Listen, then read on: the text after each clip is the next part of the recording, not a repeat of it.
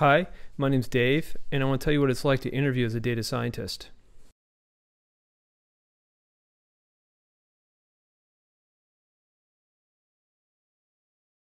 I'm mostly self taught. I started programming BASIC when I was just a wee lad back in the 80s on a Texas Instruments computer that hooked up to the television with a coaxial interface.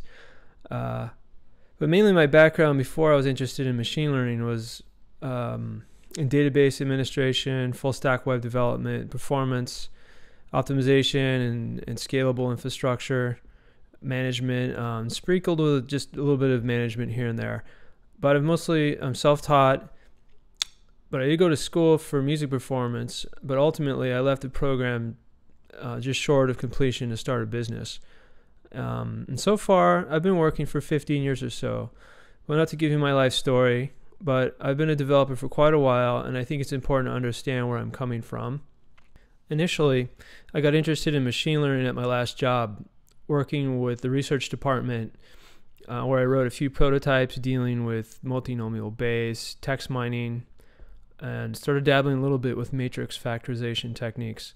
But for the past three years, I've dove in head first and completed Andrew Ng's machine learning courseware from Stanford Extension via Coursera, uh, supplemented with calc, stats, here and there from a variety of places uh, like Khan Academy, textbooks my friends gave me. Um, and then I took a, a, like a survey class on data science at General Assembly, uh, and that was really good. Um, but you know, uh, since since then, I've mainly accepted every project I can reasonably complete and just trying to get experience.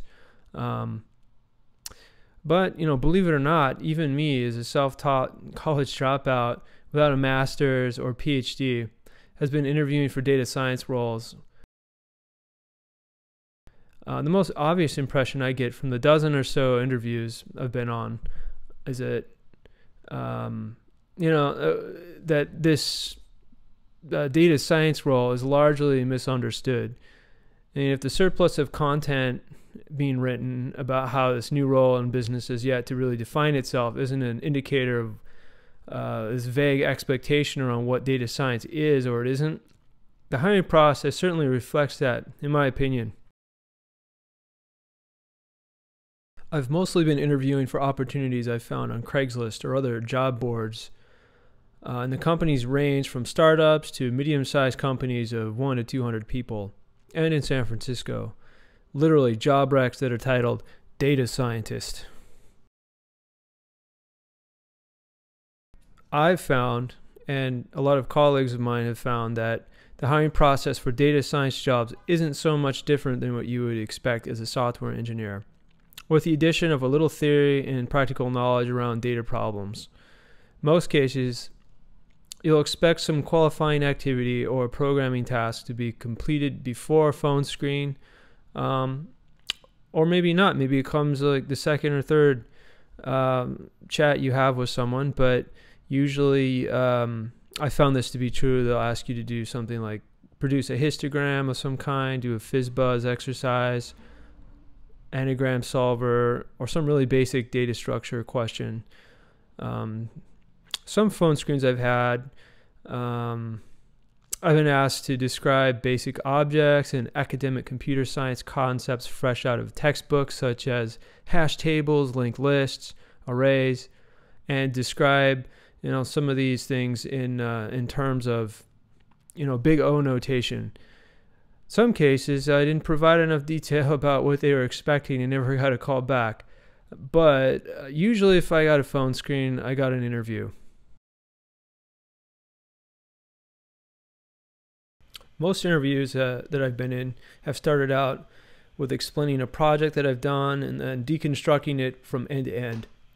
What the problem was, what the metrics for success are, assumptions, how I got the data, any pre-processing, the modeling, the classification uh, that was used, the validation test, training split, or how do how do you validate the assumptions, uh, everything, and especially how the model works in as much detail as possible. So uh, and being able to talk to the pre-processing, like if you're dealing with text, being able to explain like TF-IDF, how do the, how do you convert uh, you know text to tokens, and at what level does a cross product occur? Where does the likelihood function come, uh, and how does it work in terms of uh, naive Bayes? Um, and then you know other concepts like gradient descent, uh, hyperparameter selection, error terms, performance metrics, be it naive Bayes, linear regression, random forest, ensemble methods, support vector machines, any kind of deep learning. Um, so, yeah, and, and to be able to understand or at least explain how you can use these things differently and, and how they're different in terms of performance and how do you measure them and and um, how do you deal with them uh, as far as yeah, maybe from a discovery point of view and then from an at scale and, and production point of view. Even though some of that touches a little bit on, on data engineering, but I still think it's useful and it, and it seems like a lot of companies are asking about that and, and they're putting it in a lot of job requirements. So uh, even if you don't aspire to be a big data engineer, I think it's important to understand what the tools are and where these things cross over and you know how your role fits in with that whole equation. Because whether you like it or not the work you're doing or will be doing should be put in a production system at some point.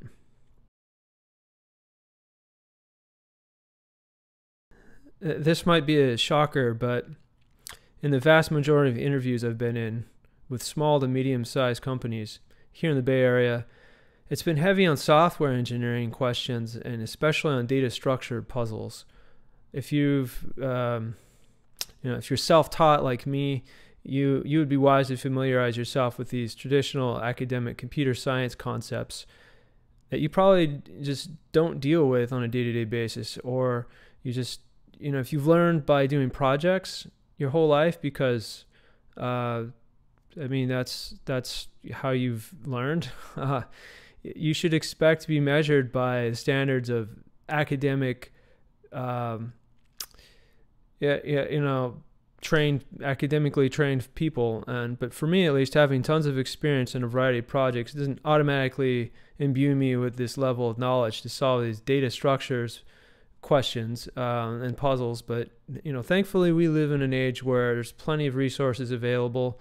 You got HackerRank there's codility CodeChef um, there's tons of good things i'll put some links in the bottom of the in the description here but uh, it's it's really not that bad. You know, you might look at it at first and and kind of scoff and be like, "Oh, this is ridiculous." I pre, prefix sum or a binary tree uh, or binary search. These things are not that bad. If you've been programming for a while, you should be able to talk to these. But if you back if your background is in computer science and you have a computer science degree, well, you know, you, you don't need to hear any of this.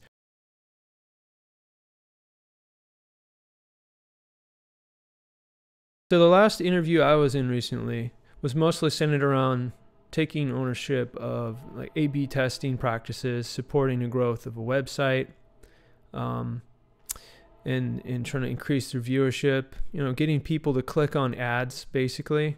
Uh, but you know, obviously more than that. But mostly user behavior metrics through designing and conducting experiments um, with with a high degree of competency competency expected with natural language processing desired. Um, I found the job on a local board and was sent a code example or a code exercise the same day after I applied. And uh, so I created an IPython notebook, uh, made a histogram of the words because that, that's what they asked for, uh, used in you know words used in a sentence, and then I posted it on GitHub. I sent them a link. As a side note, when asked to produce a software problem via email, if it's just a PDF and they just say, "Hey, email this back," um, I I think yeah, as a Python guy into other people that work with Python, um, I think it it you know it's in your advantage to use IPython notebook and post it to GitHub since they now support the rendering of the notebook format inline, and it captures the output of your local interpreter, so it's easy to read. It's easy uh, it's easy for people that you send this to to share. If you can think that you know, I send you, uh, or or maybe you send me a link, and uh, and you know, I want to show other people on my team that are involved in the hiring process. It's really easy for them to just open it up, and you know, it looks, you know, pretty good. You know, so you can kind of capture a lot of performance metrics around, you know, what different approaches you may have taken and the run times and you know any kind of vector output for um, you know graphs that you might we might produce. Um, but no, anyway. So you know, after sending in my word histogram, I got an invitation to a phone screen four weeks later, and uh, sometimes it does take that long. So you never know when you're sending in your application when you might hear from someone, but um, don't fret. You know, usually, if someone is interested, I find that they will reach out within a week usually within a week, maybe two at the most. But uh, it's not uncommon to hear back much later. And, and we all have to work, uh, and interviewing is a time sink for companies. So, just as much as it is for those looking for work.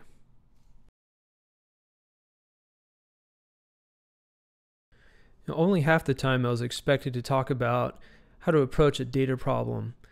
Um, still pretty important, I think. Uh, I guess it really depends on the the position and the job, the company.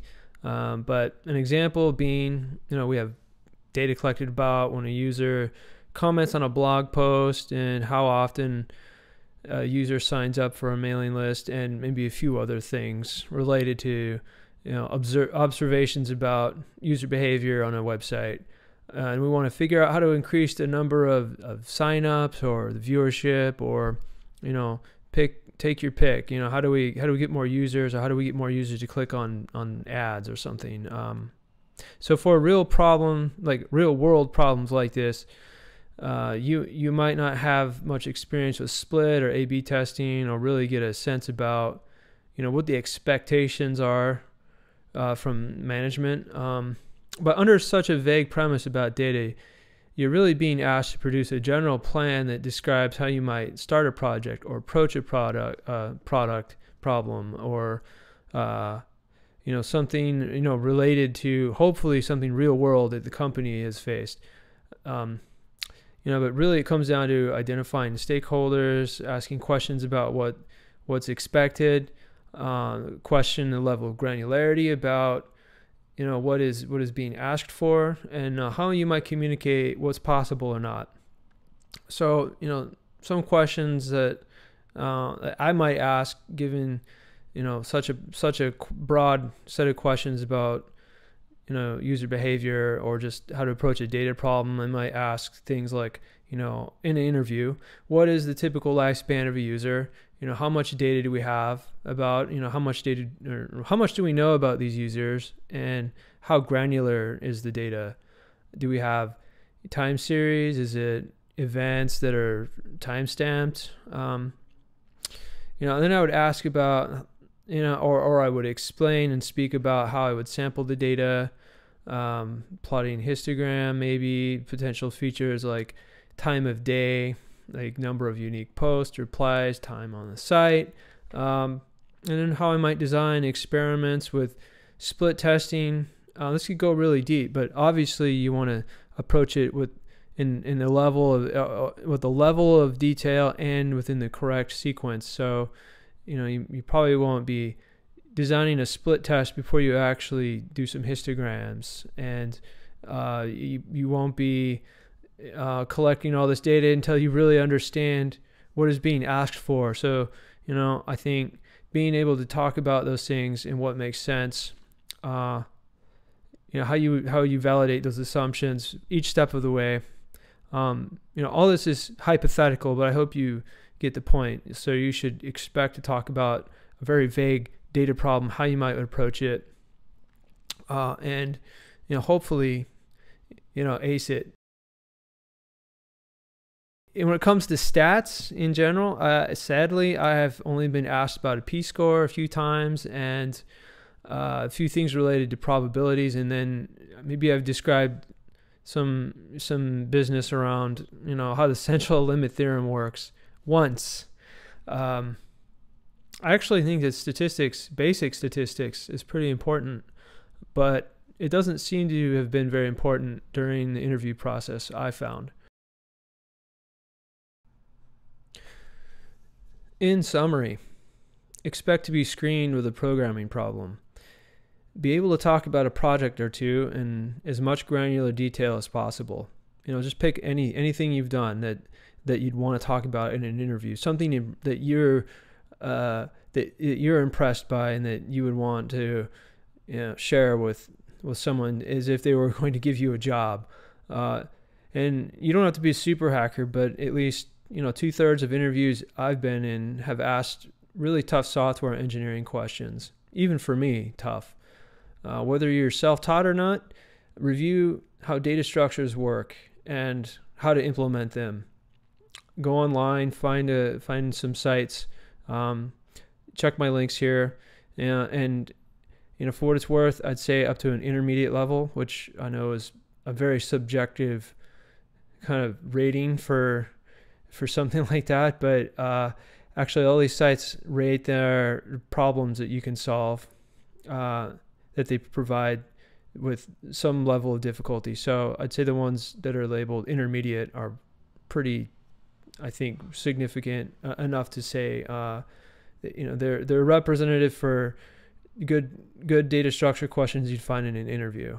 Um, and think about ways you would approach a very vague data problem because you'll get asked, you know, how do you define the goals? How do you validate your work? How might you communicate your findings? Um, you know, prepare for being able to talk about it in, in really granular terms, but you know, don't be surprised when your interviewer only wants to go and talk in, like, in vague terms. So, you know, prepare for that. And if you can prepare yourself for these types of questions, you will be in good shape.